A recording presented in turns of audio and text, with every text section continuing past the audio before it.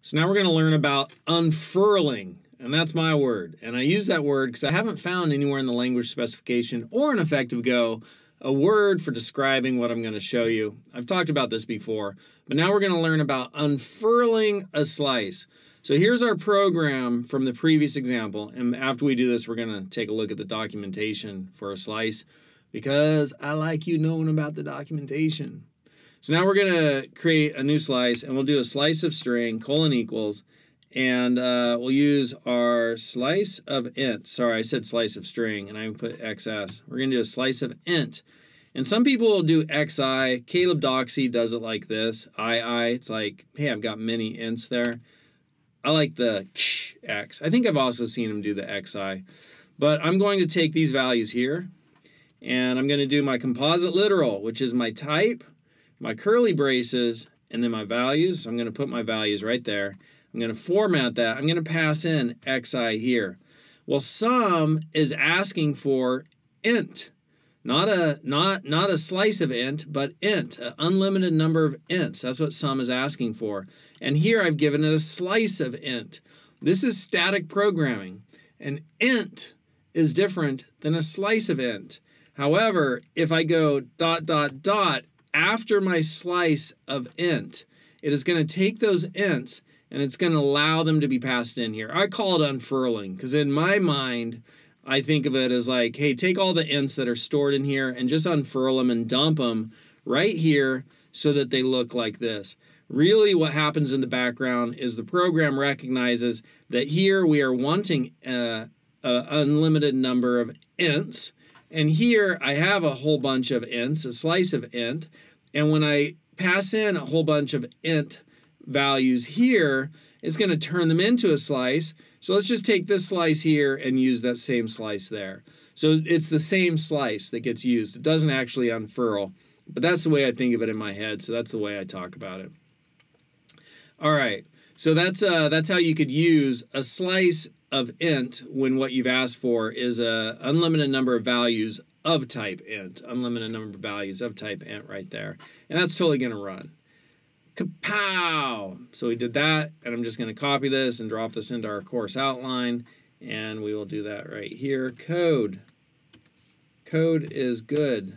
And on the eighth day, he created code, and he saw that it was good.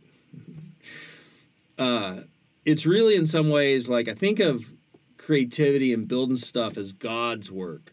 And by God's work, what I mean is God, if you look at the Western mythology, and I'm not I'm not endorsing any one belief system here. I was actually raised by a couple of people who were, you know, uh, in recovery from being steeped in really intense belief systems. And so they sort of embraced all belief systems. in the house I was raised in, there's good in, in most everything. Look for the good my dad was a sociologist at the university and and you know studied a bunch of the world's religions so i'm not endorsing any one belief system but i think of creativity as god's work generally speaking not coming from any one religious background but god in many religions and belief systems created everything created the world you know whatever name you have for god and uh and so God's work in some ways is that creating something. And so coding is creating something. It's building something. So it's God's work. You're doing God's work right now. That's noble. Building something, creating something. I love building, I love creating. All right. So now uh now we're going to take a look at something else. You could actually pass in nothing. When you're asking for a variadic parameter, you could pass in nothing right? So it's zero to an unlimited number of arguments. So I'm going to run this and it'll run. And I passed in no argument. So variadic means zero or more of type int. So that's that's kind of interesting. So I'll just put here also this code and uh, unfurling my word, a slice of int. And in some ways, that's not the best way to talk about it because it misleads as to what's actually happening happening. It just uses the slice of int that you're passing in as an argument, but you know it's also asking for values of type int. so I kind of see it as unfurling in my head. Hopefully you see that distinction. Passing in zero or more values. So here we're passing in zero values, right? And uh, last thing I want to do is I just want to take a look at the language specification for variadic parameters. If f, and let me bring this down, whoop, whoop, whoop, if f is variadic with a final parameter p, so the parameter is p, of type, and you can see my recording equipment there jumping in the background. I'm going to get this out of the way. Go away. There we go. Now we just see a short one. That's kind of cool. That's my sound.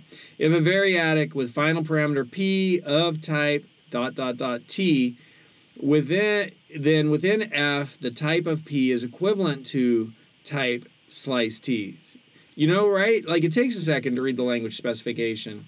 If f is variadic, so the function is variadic with a final parameter p of type dot dot dot t, so the final parameter so when you pass in a variadic argument, it has to be the final parameter.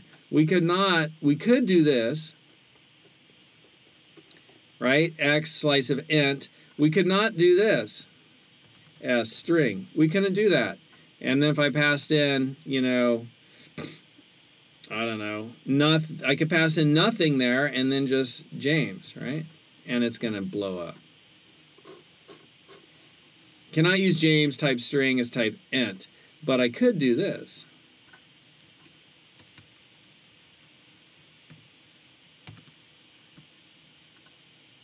Fine, right? It's fine. Likes that. It's no problem. So it has to be the final parameter because it's zero, zero or more. I think that's why. All right. So then within the function, the type of p is equivalent to type slice of t. So within the function, we saw that when we pass in all of these ints, and so we could pass in some ints. Ah, the devil's number. we could pass in some ints and run that. And that becomes, uh, the final one becomes a slice, a slice of that type, right? The type, so slice of type t is equivalent to slice of t. If f is invoked with no actual arguments uh, for p, the final parameter, the value passed to p is nil, right? So nil means nothing's there. Nil is nothing. Otherwise, the value passed is a new slice of type slice of t. So not only is nothing there, but that slice didn't even get created. It's nil. So the slice will have been created, but the underlying array didn't get created, right? So the slice will have a length, the the uh, it'll have a cap. Let's take a look.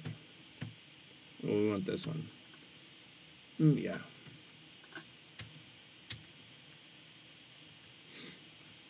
Length. Cap. Format, we're passing in no, oh, we are passing in ints. So that time, length and cap are 3, and we have a slice of int. Let's not pass in anything format and run. And now we have a slice of int, right? And length is zero and cap is zero. So that underlying array didn't get created. This is pointing, this the slice exists, but it's pointing, it, the pointer is pointing to nothing, to nil. That underlying array didn't get created. So if it is in if it is if f if the function f is invoked with no actual arguments for p the value passed to P is nil. So that slice gets created, but the underlying array doesn't. Otherwise, the value passed is a new slice, right? Of type slice T with a new underlying array whose successive elements are the actual arguments. A new underlying array whose successive elements are the actual arguments, which all must be assignable to, uh, to type T. The length and capacity of the slice is therefore the number of arguments bound to P and may, and P is the parameter, and may, be diff, may differ for each call site. Interesting. And then they give you an example, right? Uh, here, greeting, func greeting, prefix is a parameter and it's of type string, and who is a parameter, and it's type uh, variadic parameter string, variadic string. Passing in nobody gets assigned a prefix. Passing in hello, Joe, Anna, Eileen Hello gets assigned to prefix, and then Joanna and Eileen get assigned to who. Within greeting, who, see, it's a little bit funny to read. Within greeting, who will have value nil in the first call and slice of string, Joanna and Eileen in the second. If the final argument is assignable to a slice type slice of t, the, it may be passed unchanged as a value for a variadic t parameter if the argument is followed by dot dot dot. In the case, in this case, no new slice is created. So that's just unfurling. You can see that unfurling here. S is a slice of string, and it has James and Jasmine as values in that slice of string. We take that slice of string, and greeting is this func which asks for who to be a variadic parameter type string. So we pass in goodbye, which gets assigned to prefix, and then we uh, pass in s, and we unfurl it. That's my word, unfurl it. So basically, we're just saying, hey, this is a slice of the type that you want, but I think of it as unfurling. Within greeting, who will have the same value as the same underlying array? Who will have the same value as s with the same underlying array, so the same underlying array. So this array right here that got created, right, it will be the same underlying array. This is a slice which has an underlying array, so this slice has an underlying array, and this new one here will have the same underlying array, same underlying array. Okay, so hopefully reading that spec, you know, is uh, with me is helping you understand how they talk about the designers of this language talk about the language, and uh, it's not easy going, and it takes a little bit of like uh, parsing ourselves, right? I found when I talk to people who are really brilliant with computers, like incredible, that uh, they have a language which you know is like almost a, it is a foreign language. It has a, a vocabulary and uh, syntax, which is all its own. And so you have to kind of get used to even the language used to talk about programming languages. And so that's part of my intent with reading the documentation with you and with my students is to get them used to that so that you learn to understand uh, this language of programming, how we even just talk about programming, some of the different terms we use. So that's helpful. And I, I found that when I talk to people super brilliant in programming, like sometimes it's like they'll just shift into binary. They shift into binary. and it's like, uh, yeah, you know, it's just like all of a sudden they just Salamat Tinggal and it's like, wait, what was that thing you just said? Salamalat Tinggal? Oh no, that's Indonesian. But you know, they just slip into a whole new language where you're like, well, I don't, I don't know that word. So don't be ashamed or afraid to ask when somebody uses something, you know, a term, and you're like, yeah, what, what was that? Like if they say, you know, like, you know, you, you might say to them, if they use the word closure, you might say to them, what does closure mean to you? What does closure mean to you? And, uh, and having them explain it. Don't be afraid to do that. The only uh, the only mistake in life is not asking questions. How's that for a reflection? The only mistake in life is not asking questions. See you in the next video.